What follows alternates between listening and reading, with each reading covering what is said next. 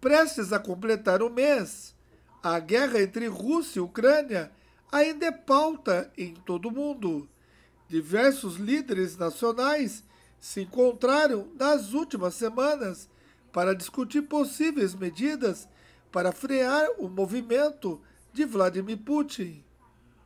O presidente dos Estados Unidos, John Biden, conversou na sexta-feira com o presidente da China, Xi Jinping, sobre a disputa no leste europeu.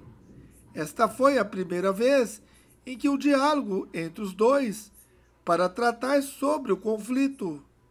Em entrevista à CNN, Lloyd Austin, secretário de Defesa dos Estados Unidos, falou sobre o encontro. Ele afirmou esperar que os chineses não aprovem esse ato desprezível de Putin. Austin espera ainda que os russos respeitem a soberania territorial dos ucranianos.